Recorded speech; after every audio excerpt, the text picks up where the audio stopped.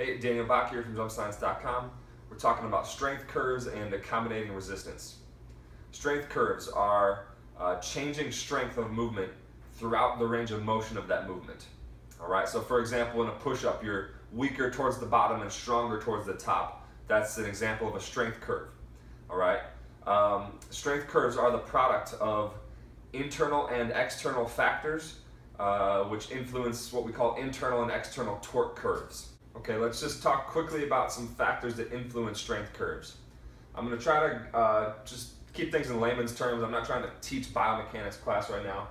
Um, so external factors, we're looking at uh, gravity, maybe friction in some cases, um, or if you're in a machine, that would, that would make things a little more complicated. But let's look at a simple exercise, the squat. Um, and so gravity is going to be our external force here. So torque at a joint is going to be uh, a product of force and moment arm. Okay, moment arm is just a, a measurement of how much leverage a force has at a, at an axis of rotation.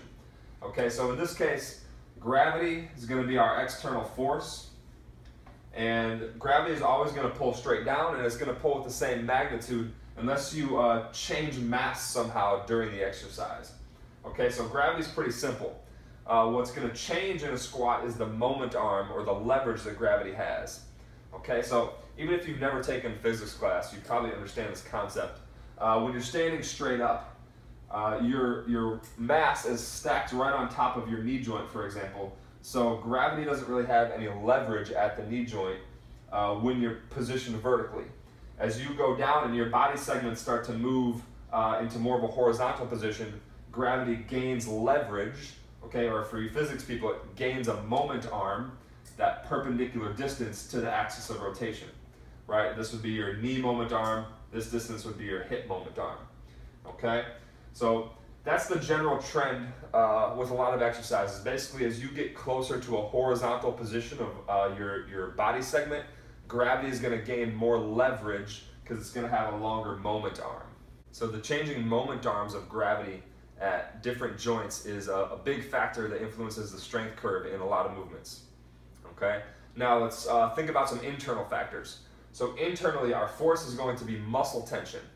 Now this is going to be much more complicated because uh, unlike gravity, which stays the same in direction and magnitude, muscle tension is going to change both in direction and magnitude. All right? So a big factor is going to be the changing length of the muscle. When muscles are lengthened, they can produce more tension. All right, so for example, in a squat, as you go down and your quad muscles are lengthened, uh, they're going to produce more tension. That's going to give you more uh, torque at the knee joint.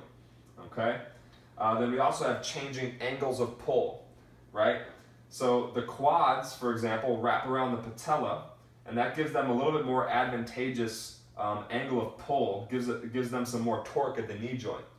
Uh, however, as you stand up in a squat, your patella moves through your femoral groove, and that actually changes the elevation here a little bit, changes the angle of pull of the quadriceps, okay?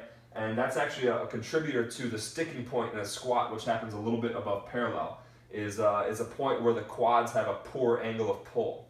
So we have changing length of the muscle, uh, changing angle of pull, and then there's even some more uh, subtle, smaller factors like uh, change in the orientation of muscle fibers relative to the angle of pull.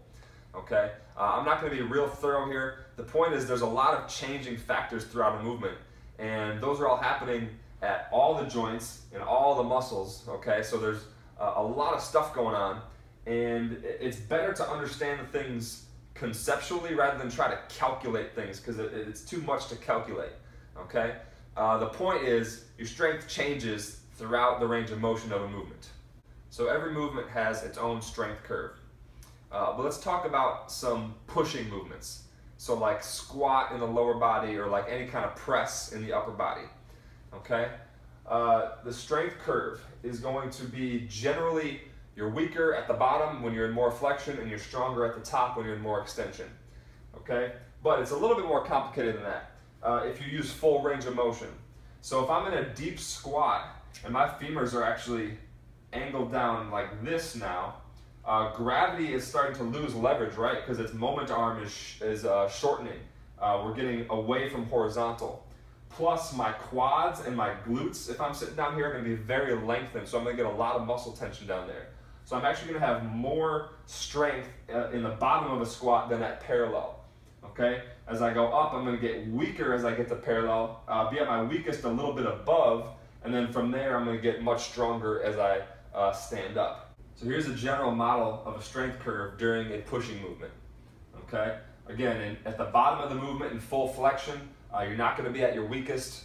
Uh, as you go up, you're going to get weaker till you get to your sticking point. Then past your sticking point, you're going to get uh, a lot stronger pretty quickly. All right. So this is going to apply to uh, you know squat, deadlift, uh, any kind of upper body push, right? So now let's talk about accommodating resistance. Accommodating resistance is an attempt to match the resistance of an exercise to the strength curve. Okay. So uh, what do we do? We use bands and chains to increase resistance as you move into fuller extension, right? So that's going to take your resistance and it's going to be more of a linear progression, okay? And it's going to make your resistance uh, angled up like this so that the resistance goes up as your strength goes up. So just a quick opinion on accommodating resistance. Um, it makes perfect sense, right? It's a good idea. It's a great variation to put into your workouts. Um, however, it doesn't necessarily seem to make any difference, right? Uh, and I think that's because uh, the money in these exercises that we're talking about is really in the, the lower part of the range of motion anyway, and overloading the higher parts more uh, just doesn't seem to really make a difference, okay? But totally cool thing to do. However, what we can't do is assume that bands and chains are always accommodating resistance, okay?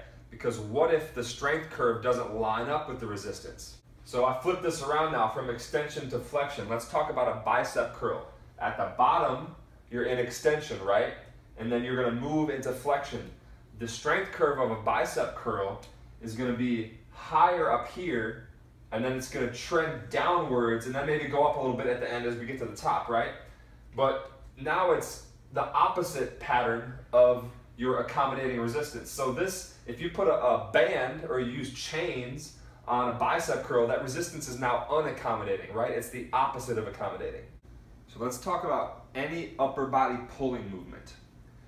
You're stronger out here, you're weaker in here. If you use band resistance, you're giving yourself less resistance where you're stronger, more resistance where you're weaker, okay? So it is unaccommodating. What that turns into then is basically just doing an explosive pull out here and then kind of fizzling out here because you're so weak compared to how much resistance you have. Okay? Now the same thing applies uh, if you're using band assistance, as in a band assisted pull up, right? Very common thing.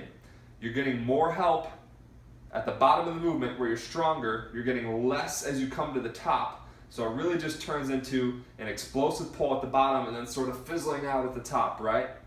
Now, there's nothing wrong with that, but it may not be the most effective stimulus to get stronger. One more example, the hip thrust. Okay, so let's think about the uh, factors affecting the strength curve. Uh, as you go from the bottom to the top, your torso and your femur are going to be moving towards horizontal, right?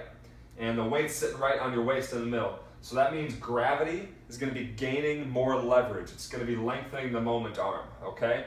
So that's going to make your strength curve go down. Also, uh, as you go up, your glutes and your hamstrings, your, your hip extensors, which you're using to lift your hips, uh, they are shortening. That means they're going to be able to produce less tension. Okay? So again, that's something that's going to make your strength curve go down. So as you go from the bottom to the top, if we're doing a strength curve, it's going to have a downward trend, right? So if you put band resistance on this, that's going to increase the resistance as you go up. Okay, so it's going to be the opposite pattern of your strength that is going to be unaccommodating resistance. So using bands and chains for accommodating resistance is a, a totally cool method to use, uh, but don't just assume that because you're using them, it is accommodating resistance. You have to think about the strength curve of the movement that you're doing.